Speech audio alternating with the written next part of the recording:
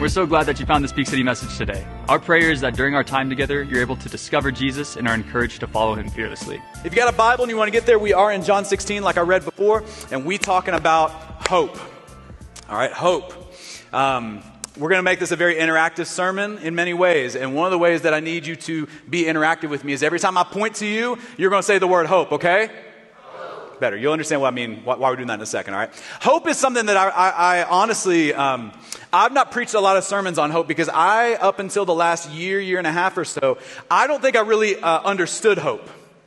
Uh, and and, and, I, I and when, when, I thought about hope, it didn't seem like a very strong uh, concept to base your life on right? There's some things about hope that didn't make sense, but honestly, that's kind of par for the course for me. Um, I, there's a lot of things about Christianity that haven't made sense to me, okay? I, I, I didn't grow up going to church. I didn't grow up with faith. Um, I, didn't, I didn't start following Jesus until the age of 17. And so there was a lot about church life and a lot about Christianity that just didn't make sense to me. So, like, I, I remember when I was a kid and we weren't going to church, um, but I was around Christians in my school. I was around families that prayed, and I was so confused because I thought at the end of their prayers when they'd say Amen, I thought they were saying all men. And I'm like, that is so sexist. Like, how dare you not get with the times? There was they're saying amen, amen, which means we agree. So like when you say amen at the end of a prayer, it just means you agree with whatever's been praying. Like I didn't know but I learned, okay? Um, fast forward to like whenever I first became a pastor. The very first job I ever had in ministry, I was a youth pastor at a really small church in the middle of nowhere, Kentucky.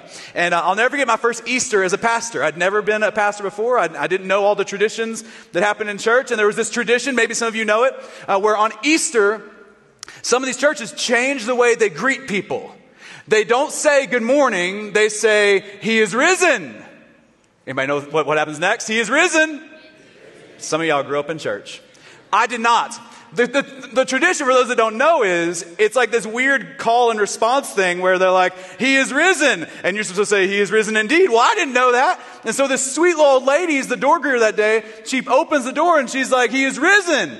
And I said, You bet your bottom dollar he did. These are the facts this is Easter. I was like, I don't know. What do you want me to say? And she was like, oh no, we have hired a hellion to be our youth pastor. This is not good, right? I didn't know, but I learned, right? I didn't know, but I learned. And with hope, I got to be honest, I, I don't think I knew what hope really meant until the past few years as God has been teaching me what, what hope is. Because when, when you think about hope, you can't read the Bible and not get to the word hope. You can't listen to and sing Christian worship songs and not think about hope. It is everywhere. It is all over the Bible. It is a faith that is centered on hope. And when the Bible talks about hope, it doesn't sound weak. It sounds strong. It sounds central. It sounds like its priority number one is hope. I mean, think about some of these verses in the New Testament. Just a casual reading of some of these. Uh, Romans 15, 13. May the God of what? Okay, you're getting the hang of it. We're, we're going to go louder than that. So if the person next to you didn't say hope, you're going to have to elbow them right now. Okay? I saw, I saw the elbows. May the God of better fill you with all joy and peace as you trust in Him, so that you may overflow with better by the power of the Holy Spirit. Romans 8:24 says, "For in this we were saved."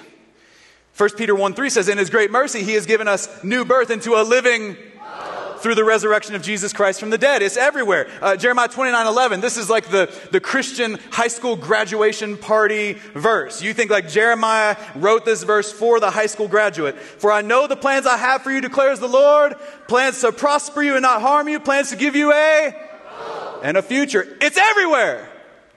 Hope is like central to the Christian faith. But here's the, here's the problem I've had with hope almost all of my life as a follower of Jesus is that when I read hope in the Bible, it doesn't match up with the way we talk about hope as 21st century Western Americans. There's a discrepancy that doesn't line up because we don't say hope and mean the same thing, I don't think. Because when we say hope, we say it like, my team's down 30 points at half and they're probably going to lose, but I they come back, right? Broncos fans, y'all think they might make the playoffs. They're not. They're not going to, okay? But you hope that they do, right? Uh, come on, I'm a, I'm a Cincinnati Bengals fan. Us, us Bengals and Broncos, we got a lot of disappointment in common. We share that. So, some of y'all guys went on a date with a girl over the last year, and the online dating service messed up or something and she was way out of your league, but it matched you up. And, and, and she has not called you back after that date. It's been three or four days and your boys know she's, she's done with you, but you, deep down you still hope, but she ain't calling.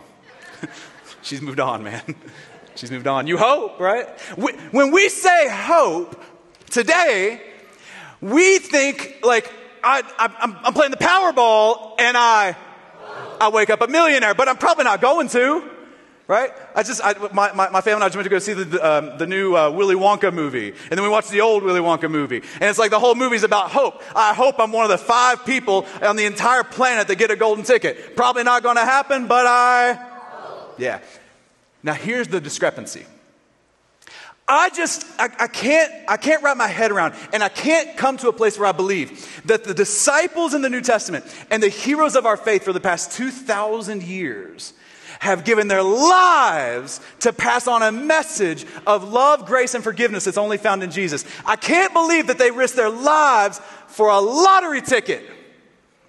It just doesn't make sense. I, I, can't believe that they would sacrifice everything for basically what we would call wishful thinking. There's something don't add up. And that's why I love John 16, because John 16 teaches us how. No, no, no. John 16 teaches us how better how hope works. I'm going to keep you engaged. How hope works, what hope really is, and how hope works. I'm telling you, if you don't need hope right now, you're going to need it. Buckle up. Life has a way of handing you situations where you're going to need some hope. But some of y'all right now, I know for a fact you walked in these doors and you need hope right now. Some of y'all watching online, you need hope right now. We had, a, we had a young woman who attended our service on Thursday night, and she said, You don't understand the situation I've been. I've, I've, been through death. I've been through loss. I'm a, I'm a single mom now. I've been through everything. And all I needed was. I'm telling you, we desperately, desperately need hope. In John 16, I think Jesus gives us a sneaky little Christmas message and clarifies what hope really is. So, Peak City, John chapter 16, we're going to be in verse 16. I say this every week. I don't say it to get any sort of response from me. I say it because Jesus would often begin or end a teaching by saying something like, He who has ears, let him hear. It was Jesus' way of saying you got to position your mind and your heart and your soul to receive. You have to be ready that God wants to teach you, God wants to grow us if we will say that we are open to it and prepared for it. So, Peak City, John 16, hope, hope, hope, how hope works. Are you ready? Ah, uh, 16 people are ready. 16 people are getting hope. I'm telling you, I don't, I don't care if, if it's only 16 that get it. We will preach our guts out to get 16 people hope right now. Peak City, are you ready for hope? All right, let's go, let's go, let's go. John 16, verse 16. Here's what it says. We go back through it. It says, Jesus went on to say, In a little while you will see me no more, then after a little while you will see me. He's actually trying, we're going to see this in a second, he's trying to give him hope right there.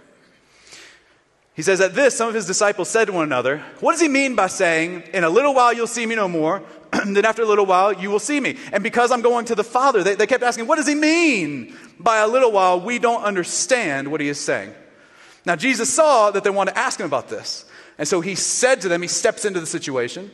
He says, Are you asking one another what I meant when I said, In a little while you'll see me no more, and then after a little while you'll see me? You'll see me. The, the, the, the disciples here are confused. Okay, they're confused. Raise your hand if you've ever read anything in the Bible or heard anything in, in church that confused you. If you're not raising your hand right now, you're a liar. And that's okay. You're welcome here. But it is confusing sometimes, right? And the, the, the, the, disciples are confused. And so Jesus says, Not only do I want to bring clarity to your confusion, but Jesus knows what they're about to face. Okay? Jesus knows this, this, this, this, John 16 is known as the farewell discourse. This is Jesus preparing his disciples for a really, really hard time that they're about to enter into. Jesus is preparing them for the time when he will be crucified, he will be murdered. The, the leader of the movement will die, and it's going to scare them to death.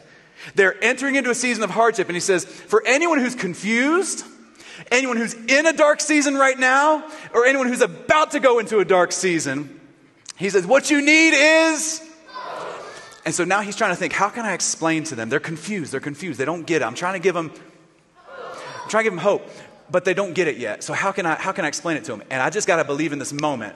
He thinks of someone. I think he might have actually saw someone as he says these next words. He says, here's how I'll explain hope to you. Very truly, I tell you in verse 20. Very true, I tell you, you will weep and mourn while the world rejoices.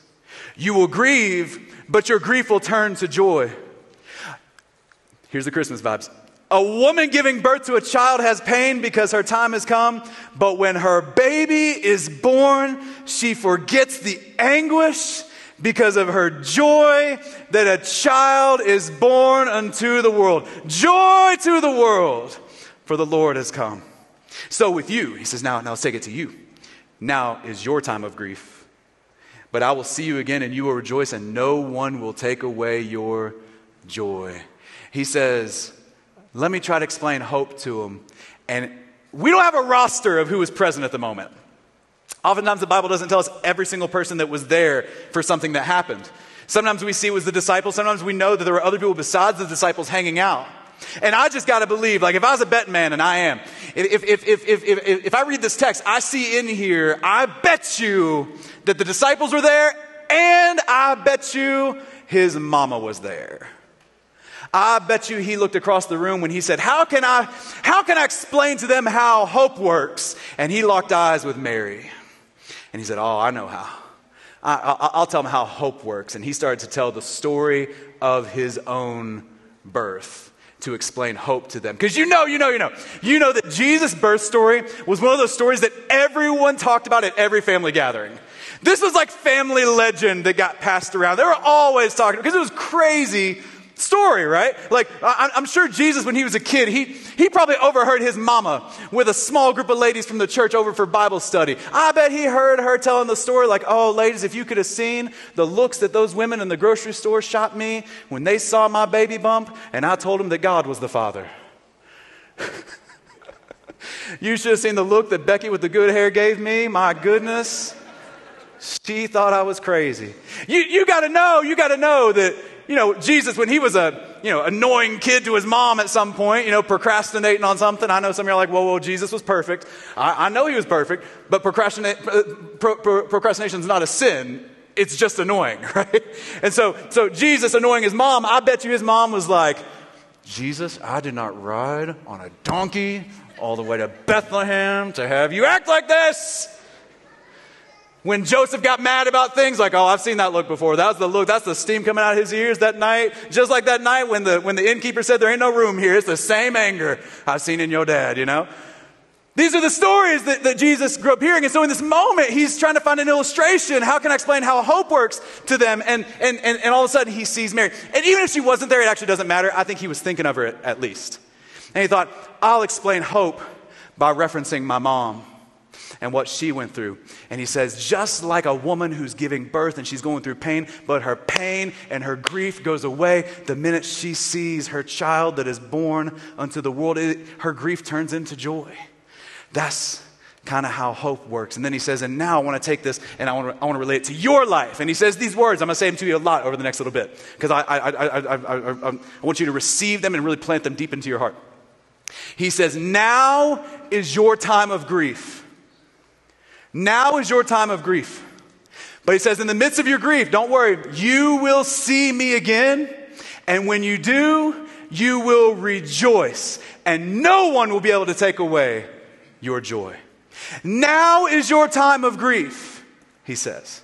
But you will see me again, and when you do, you will rejoice, and no one will be able to take away your joy. I'm going to say it a third time. He says, Now is your time of grief but you will see me again, and when you do, you will rejoice, and no one will be able to take away your joy. I believe in Jesus' words right here. We have a picture of how hope works. And I want to show you what I believe God was showing me as I was praying through this passage and I, as, as, as I was asking God to illuminate this to me and help me understand what it means. I, I, I couldn't help but see hope all over it. And I couldn't help but see that hope works in a cycle. Okay, I want to take you to my journal. I want to take you to uh, my own handwriting. I'm sorry that it, it, looks like chicken scratch. My, my seven year old daughter got better handwriting than I do, so you have to excuse me on that front. But I, I, I, I just want to show you what I wrote in my journal when I read this passage. And, and to me, I just saw it popping off the page that this is how hope works. Go and put that up there for us, okay? Excuse the chicken scratch, but this is what I think we see from Jesus in John 16 that this is how hope works. He says, Now is your time of grief. Hope always begins with grief. You can't have hope without going through grief. You can't have joy without going through sadness. You, you, you, you, you can't experience the fullness of life without going through the hardships of life. He says, now is your time of grief, but he says, don't lose hope. Because in the midst of your grief, he says, you will see me again that you will see God again in the midst of your grief. And when God shows up in your grief, when God shows up in your hardship, I'm telling you, your grief will turn to joy. Your mourning will turn to dancing. Your ashes will turn into beauty, he says, when you see God show up in the midst of your grief. Your grief will turn to joy when you see God. But, and here's the deal it'll be so powerful this experience of seeing God show up in your hardship, it'll be so powerful that no one will be able to take away your joy. It'll be a story of the faithfulness of God that is so deeply planted in you that, that people, may dis- uh, uh, uh, uh, people may doubt it, people may not know all the details, people may not fully understand it, but you do. You remember because you were there you were in the grief, you felt it, and you saw God show up, and you saw your grief turn to joy. And that joy became something so deep inside of you, it became trust. It became trust. And no one, no one can take it away from you. You've been through too much. You've seen God do too much. And here's the deal it doesn't end there, it's a cycle. This is how what works? How what works? Okay. Grief turns to joy. Joy turns to trust. This deep rooted that you've seen God do it in your life before. And your, that trust prepares you for your next round with grief. The trust prepares you because, because the grief isn't over. You made it through one storm. Guess what? Another storm's coming. You made it through one season of hardship. Guess what? Another one is on the horizon. And, and, and what God says is, you need, and hope is not a lottery ticket. It's not wishful thinking. It's not something unstable. It's not I hope happens. No, it's hope is I've already seen God do it in the past. So now I've got joy because of what He's done in my life. And my joy has become trust and no one can take it away from me. So the next storm that comes, I'm standing strong.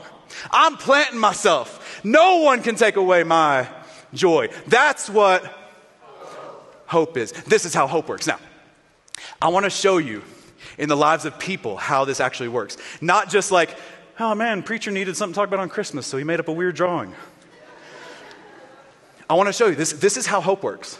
Okay, I want to uh, let, let, let's start with like um, let's start with Mary. Okay, it's Christmas. Let's talk about one of the Christmas nativity scene stars, Mary. Mary's story starts with grief. She's a completely unplanned, unexpected teen pregnancy with no husband when most likely she was living in poverty. She's terrified. She's terrified of the future. She, she's been promised by God that she's going to carry the Messiah, the Son of God. And she's like, What is happening to my life? The looks people give me, the things, the rumors that were spreading about her. Oh, it was awful. She's going through grief. But then she sees Jesus. And when she sees Jesus, she sees that God came through on his promises and her grief turns to joy. Read Luke chapter 2, Mary's Magnificat. She says, Magnify the Lord, O my soul, for what he has done. He has turned my grief into joy. And her joy, come on, come on, come on. When she saw God show up in her grief, her joy became something that no one could take away from her. She remembers the story. She remembers the details. She lived it. She saw the faithfulness of God. No one could take it from her. Her joy became trust, and her trust prepared her for the future rounds of grief that she would face. You know, she wasn't done facing grief. She, she went through grief in the beginning. Uh, she actually went through a lot more grief. In fact, we see that she, that, that she had what? Because at the end of Jesus' life, fast forward to the end, another round of grief for Mary also for Jesus, but also for Mary. Jesus is hanging on a cross. The son that she gave birth to is being murdered. And the disciples, almost all of them fled the scene. Almost all of them abandoned Jesus. Almost all of them were scared. They thought the death of the leaders, the death of the movement. And all of a sudden, who's there? You got the disciple John and his mama is at the foot of the cross as her son is being killed. And she's standing firm, confident, and she's filled with because she's seen God do it before. She says, I, have been here before. I've been in grief, and I saw my God, and, and, and He turned my grief into joy, and joy became trust. And now I'm in a storm, but I've, I've been here before. God's given me what I need. I've got. You're going to have to stay stronger than that. I need you this whole sermon. This is a team effort, okay? This is a team effort. Because she had. Thank you. This is how hope works. This is how hope works, okay? Let's go to another one. Um, uh, let's go with the disciples, okay? The, Jesus is speaking to the disciples. He says, Now is your time of grief. They're about to endure grief. They're going to see the leader of their movement murdered, and they're going to think it's over. And most of them thought it was over. Peter denied ever even knowing him. Judas betrayed him. I mean, most of the disciples fled like cowards. But, he says, in the midst of your grief, don't lose hope because you will see me again. And all of a sudden, three days later, Jesus resurrects from the dead and they see him again. And not a hallucination, not a ghost. He comes up and says, Touch my nail scarred hands.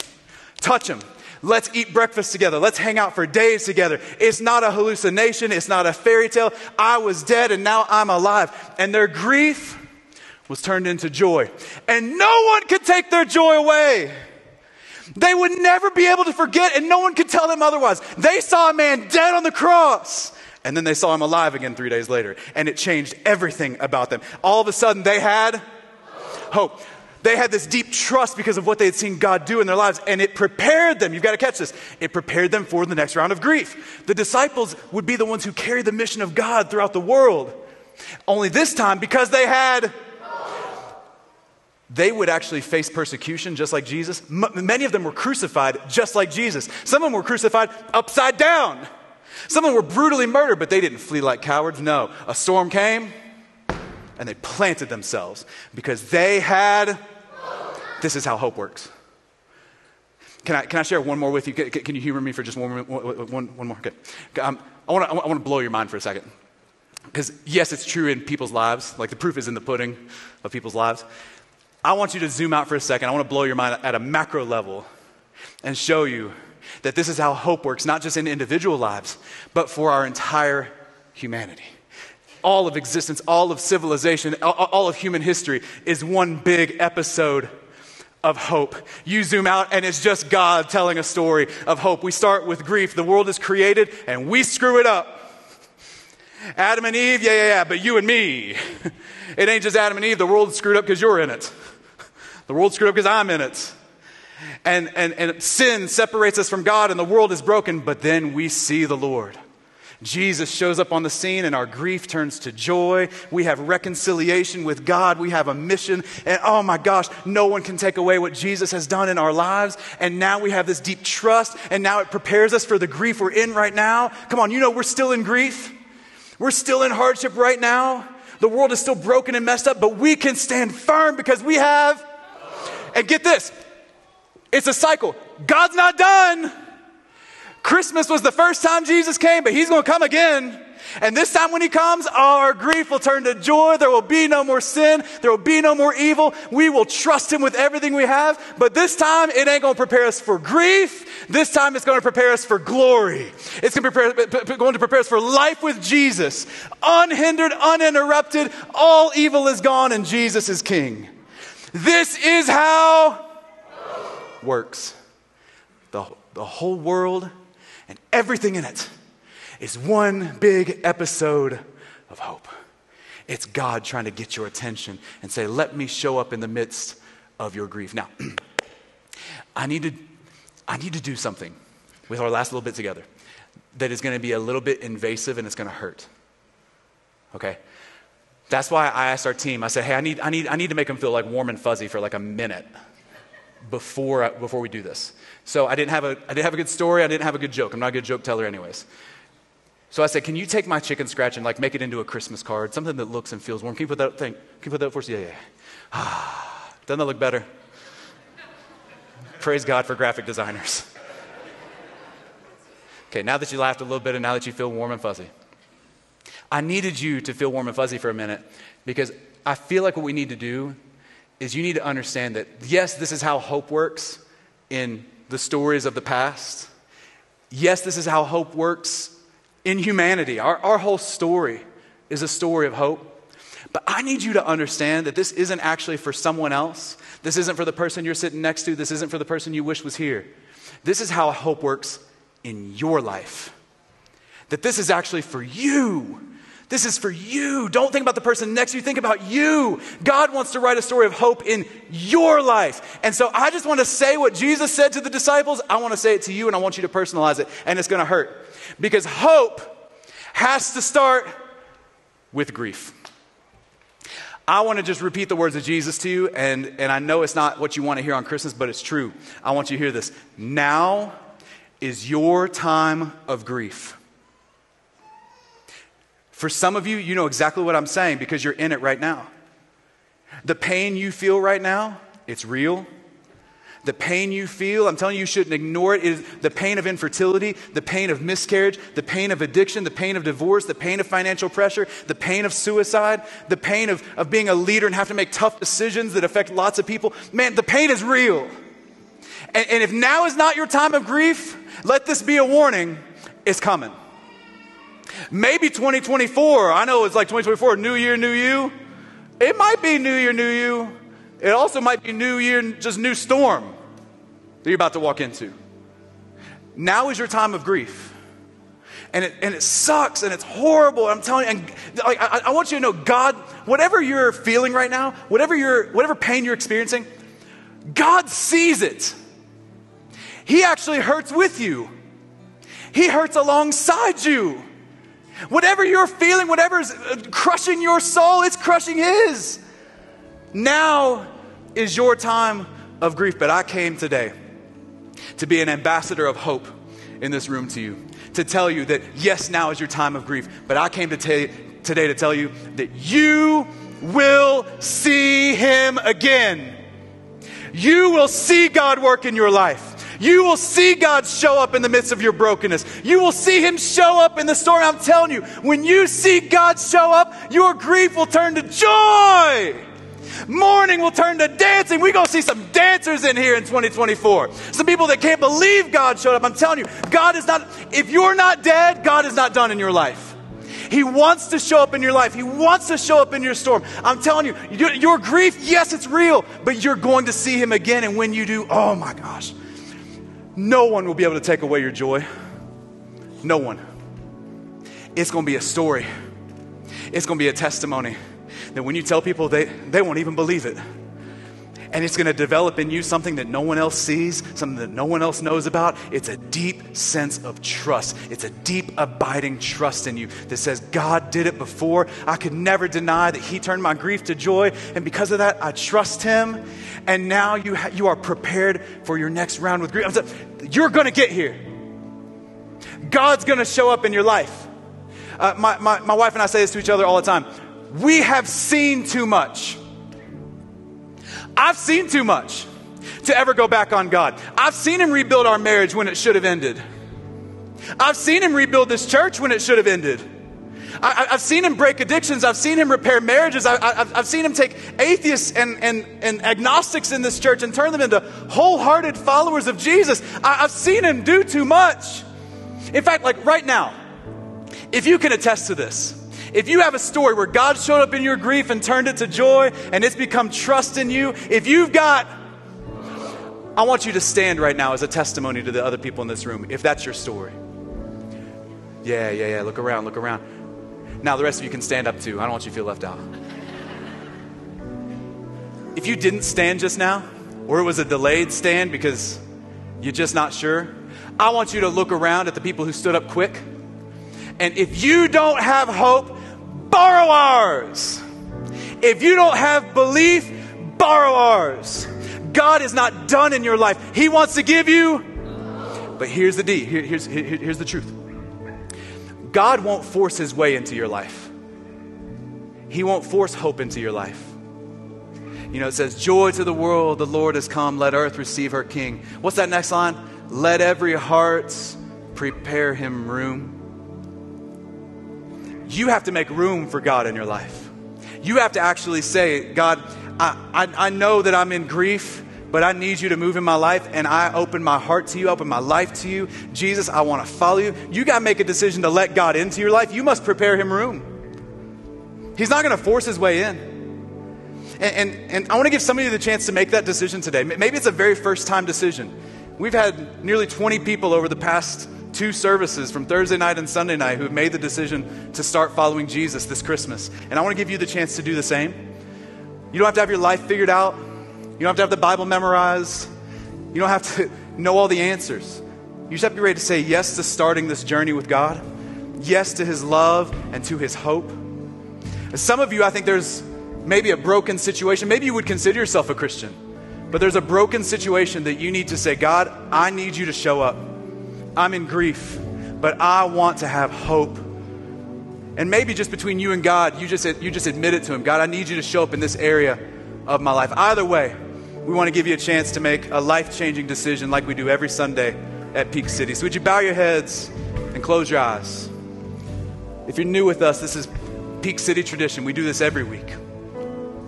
If you're here and you wouldn't have maybe considered yourself a Christian even as you walked into this room today, but you know that Jesus is the one who's been pursuing you, you know that He's the one you've actually been looking for this whole time, and that what He did for you on the cross, that it is enough for you to say, Jesus, here I am, I'm ready to follow you. If that's a decision you want to make to become a Christian today, Christmas 2023, to change your life and go in a completely different direction, to start following Jesus for the very first time, I want you to raise your hand on the count of three as a private decision between you and God.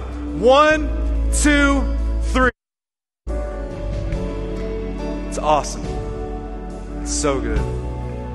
We're so excited for you you just made that decision, if you made it online, let us know in the chat. For those of you that made that decision in the room, we're so grateful for you. We're so excited for what God has in store for you. Peak City, keep your heads bowed and eyes closed, but let's join heaven and celebrate the decisions that were just made in the room.